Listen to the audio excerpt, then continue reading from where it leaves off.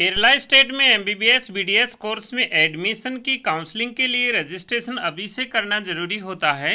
इसमें admission NEET score पर होता है। इसमें के द्वारा बाकी कोर्सेज के लिए एग्ज़ाम कंडक्ट करवाया जाता है। मगर मेडिकल कोर्सेज जैसे M B B S B D S Ayurveda B V S C के लिए एडमिशन नीट स्कोर पर होता है। इस स्टेट में एमबीबीएस के लिए, गवर्नमेंट मेडिकल कॉलेज में एडमिशन के लिए केरला स्टेट के कैंडिडेट ही एलिजिबल हैं, मगर प्राइवेट मेडिकल कॉलेज की 15 परसेंट सीट पर ऑल इंडिया के कैंडिडेट एडमिशन ले सकते हैं, क्योंकि यह एक ओपन स्टेट है।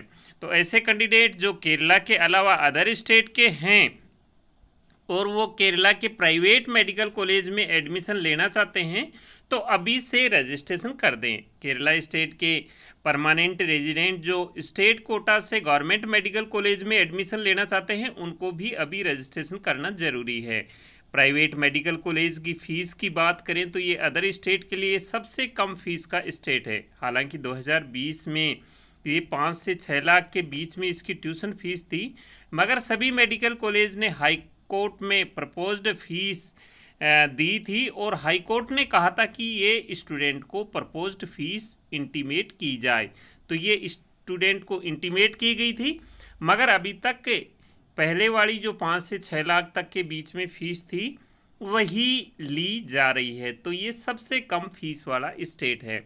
अभी काफ़ी सारे स्टूडेंट को ये डाउट होगा कि अभी नीट ट्वेंटी वन के एप्लीकेशन फॉर्म ही नहीं भरे गए तो केरला स्टेट में MBBS state counselling twenty one के रजिस्ट्रेशन क्यों स्टार्ट हो रहे हैं?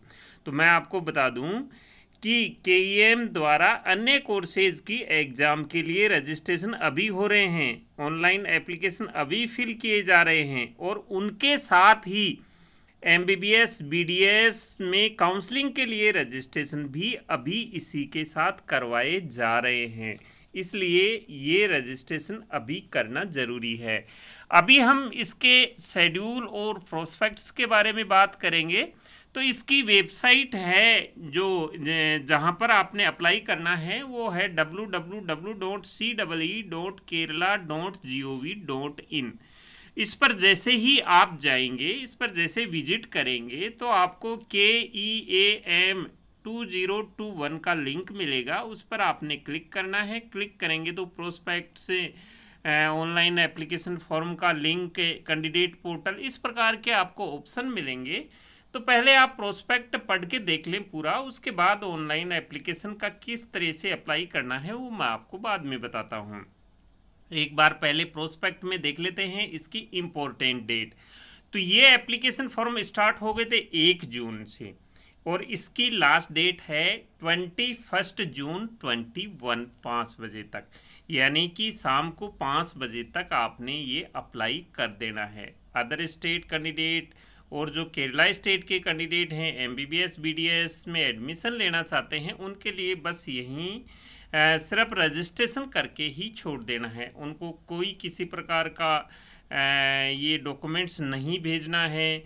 बाकी जो एग्ज़ाम हैं, उनके लिए एडमिट कार्ड डाउनलोड होंगे, उनकी एग्ज़ाम लगेंगी।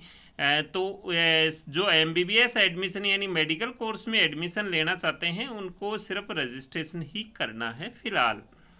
इसके बाद में हम देखते हैं कि इसमें जो कोर्सेज हैं, वो मेडिकल के लिए कौन कौन से कोर्सेज हैं। तो इसमें मेडिकल के लिए एम बी बी एस है बी डी एस है बी एम एस है बी एस एम एस है, जो सीधा कोर्स है। इसके बाद बी एच एम एस है और बी यू एम एस है। एग्रीकल्चर के भी इसमें कोर्सेज हैं B S C honours agriculture इस प्रकार के कोर्सेज हैं। बाकी इसमें वेटनरी कोर्स भी है। लेकिन जो अदर स्टेट के कैंडिडेट हैं, उनके लिए एम बी बी एस ही है। इसमें वो प्राइवेट मेडिकल कॉलेज में एम बी बी एस में एडमिशन ले सकते हैं। सीट वगैरह के बारे में काउंसलिंग के टाइम में इन्फॉर्म कर दिया जाएगा। M B B S B D S B H M S B M S B M S B S M S का साढ़े चार साल का कोर्स है और एक साल की इंटर्नशिप है इसमें। इसके बारे में हम बात करते हैं आगे। इसमें जो अदर स्टेट कैंडिडेट है, वो नन कैरलाइट सेकंड यानी कि इसमें सेकंड कैटेगरी में आते हैं वो। इसमें non Keralite category second N K two में आते हैं वो।